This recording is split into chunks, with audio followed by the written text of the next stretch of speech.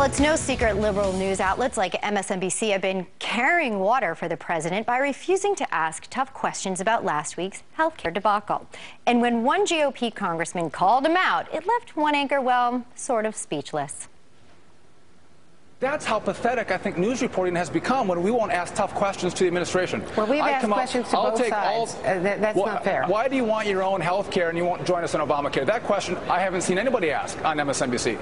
Please ask it because they don't have a good they don't have a good answer for it. They have their own gold-plated health care plan well, so that they're in, and they don't. No, I'm not. I'm in Obamacare.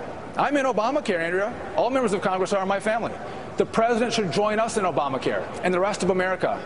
That's, is that pretty reasonable? We should all be treated equally under the law? Why should members of Congress be in Obamacare, not the president? Explain that one. Isn't that fair? Uh, cricket. Wisconsin Congressman Sean Duffy is my guest this morning. Thanks for being here. Well, it certainly takes a lumberjack to bring the wood. Why hey, good morning, Elizabeth. Good morning. So, where's the fair debate when it comes to Obamacare, and why is the liberal media standing in the way? Of First of all, I don't, I, I don't think it's been fair. Mainstream media hasn't been willing to actually report the last offer that we've made to the administration before the government shut down. All we had asked the president to do was one, fully fund the government. Number two, have the president, Jay Carney, and the whole administration go into Obamacare like members of Congress and the rest of America. But the last thing we asked for is to uh, treat the American families the same way as big businesses in regard to taxes and penalties in Obamacare.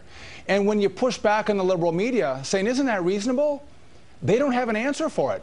Uh, uh, Elizabeth, I don't know if you know, Jon Stewart at Comedy Central was the first one to ask not even a tough question, a question to the administration uh, about, about why they won't join us in some reasonable proposals. And Kathleen Sebelius, uh, the Secretary of Health and Human Services, couldn't answer their question. They're just not used to getting asked any tough questions in regard to this current debate on the shutdown. Right. No, certainly not. And on Tuesday, there was an hour-long conference where the president spoke and answered questions, but none from TV reporters, and no questions were asked about Obamacare. What, was, what are your thoughts on that?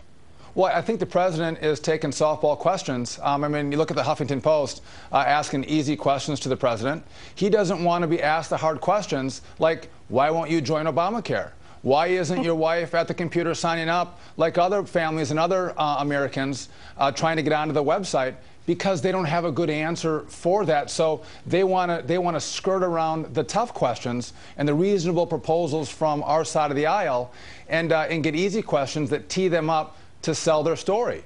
Um, but I don't think that that can last very long. You're starting to see the, the liberal media crack and, and tell some of these stories. Uh, Wolf Blitzer was actually out saying maybe the Republicans were right. Maybe there should have been a one year delay after we've seen how uh, poorly Obamacare has been rolled out. It might have been pretty wise on behalf of the administration to take a one year delay and get all the kinks worked out. I mean, we've been we've been told we're, we're asking the wrong questions when someone asks the question. Um, yesterday, Jay Carney uh, uh, didn't want to answer the question when it came to the, the death penalty um, and payments to to those that have fallen um, in the line of service. How do we get answers then, Congressman?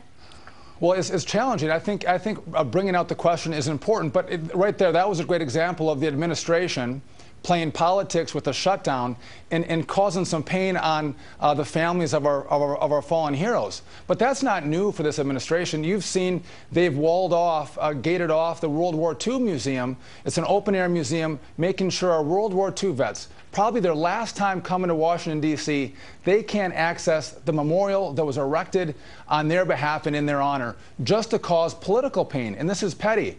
Look back, Elizabeth, remember uh, when sequester came into effect? Remember he shut, the president shut down the White House so kids who had gone through bake sales, raising money to go see the people's house, these young kids in America couldn't see it because the president wanted to make a political point.